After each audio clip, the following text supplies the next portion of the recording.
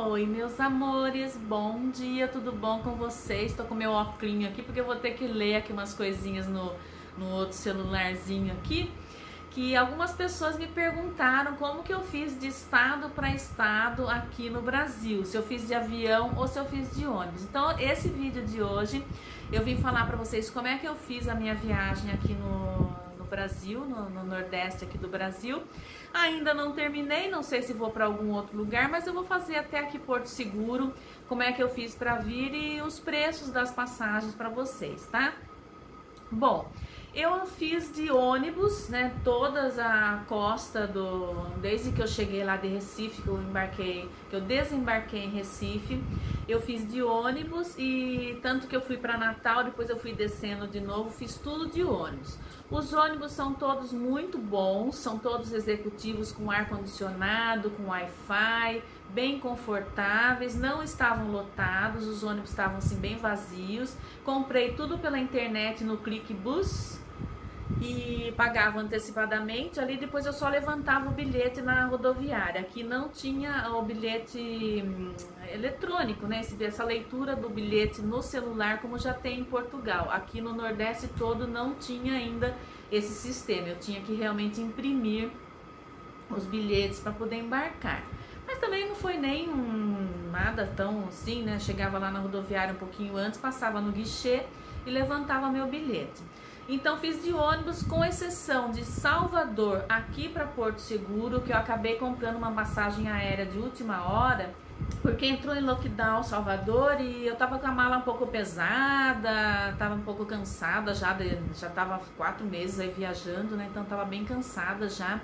Porque a minha intenção, gente, era fazer de Salvador continuar descendo. Então eu ia fazer Itacaré, que eu queria conhecer, e também queria conhecer Ilhéus, mas daí eu tinha pesquisado um pouquinho na internet, também ia ficar um pouco corrido para mim, acabei falando, ó, quer saber então como Salvador, aqui o sul da Bahia mesmo, era um local que eu já estava com muita vontade de conhecer, eu falei, bom, eu pulo então Itacaré e Ilhéus, encontrei uma passagem pela Azul bem mais em conta, de última hora, paguei 400 reais, sendo que o ônibus eu ia pagar ia dar todo, total, no total, até aqui Porto Seguro ia dar uns 300 e pouco. Então eu falei, não, então eu compro essa passagem aérea e vou direto para Porto Seguro, que foi aí que eram as cidades realmente que eu queria conhecer, né? Então eu pulei Ilhéus e pulei Itacaré e vim direto para Porto Seguro. Foi o único avião que eu usei aqui no Brasil. O resto fiz tudo de ônibus. E eu vou passar agora para vocês é, os valores. Então, como eu disse, eu comprei tudo pela internet no ClickBus ou ClickBus, né? Não sei como é que pronuncia. E vou mostrar aqui para vocês. Espera aí. Bom, então o ônibus de Recife a Natal foi executivo e eu paguei R$ 86,50. Isso todos os preços em reais, tá? Vou passar depois aqui embaixo é, na tela, eu coloco em euros para quem mora em Portugal. De Natal a Pipa eu paguei R$ reais para ir e R$ reais para voltar. Foi o único ônibus ruim que eu peguei, que era um micro ônibus, estava bem velho e não foi um ônibus bom. Ah, não, minto. Eu fui de ida nesse micro-ônibus, que era um ônibus ruim, e voltei no ônibus grande, que era um ônibus melhorzinho, mas também não era um ônibus muito bom. Seis para ir, seis para voltar. Depois eu fui de Natal a João Pessoa, também no executivo muito bom, R$ 41,90. De João Pessoa Maceió, também executivo, 121 reais. Maceió a Aracaju, foi um semileito, R$ 68,80.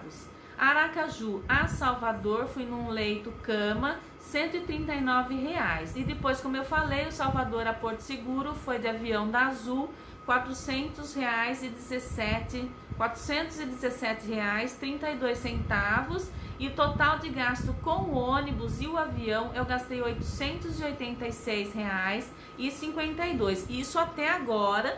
Eu não sei se eu vou aqui de Porto Seguro para mais algum outro lugar ou se daqui eu já vou depois para São Paulo e de lá fazer o teste do Covid que eu tenho que fazer antes de ir para Portugal e já embarco para Portugal. Eu não sei ainda, mas vocês vão estar acompanhando aqui junto comigo no canal e vocês vão ver aí para onde que eu vou estar tá indo, se eu vou ficar ainda mais tempo aqui em Porto Seguro, se eu vou para algum outro lugar, tá? É, como eu disse, meu dinheiro já está aqui no berro, né? Porque eu estou desde 4 de dezembro viajando e como a gente fica poucos é, dias no local só, você acaba ficando mais caro. Quando você consegue uma estadia para mais tempo, por exemplo, há um mês, você acaba tendo um desconto maior, pelo menos no Airbnb. Mas eu fiquei muito empousada dessa vez, fiquei pouco em apartamento, tive muitos problemas com os apartamentos, que depois no outro vídeo também a gente vai terminar de fazer falar sobre os apartamentos, que eu não falei ainda daquele apartamento de Aracaju, né, que foi o pior, pior experiência que eu tive, né? Então eu acabei gastando um pouco mais e realmente agora eu tô bem apertando o cinto mesmo aí para economizar, porque foi todas as minhas economias foi nessa, nesses quatro meses aqui no Brasil. Mas porque também no começo eu acabei me perdendo um pouco ali nos gastos e não é, não calculei direito, né? Então, quando você faz uma viagem assim, o certo é você falar: não, eu tenho X quantia para aquele mês.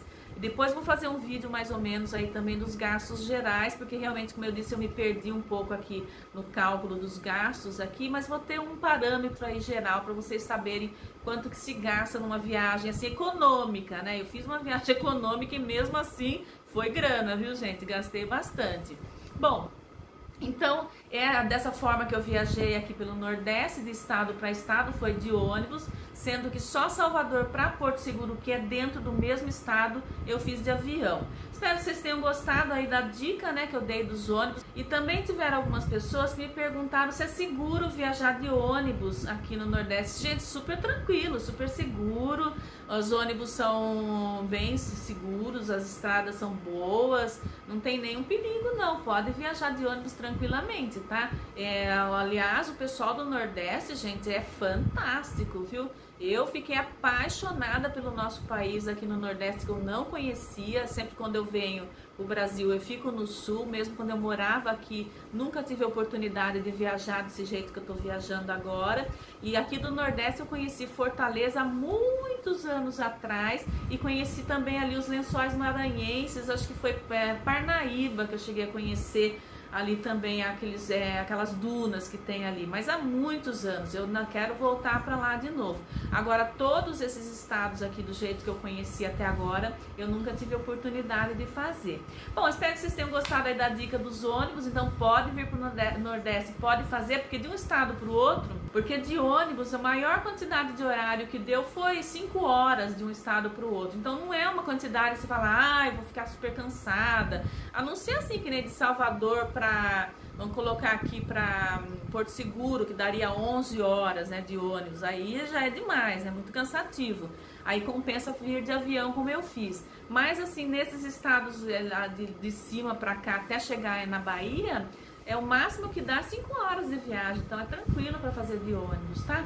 Bom, espero que vocês tenham gostado aqui da dica de hoje, dos preços aí que eu tô colocando para vocês também terem uma ideia.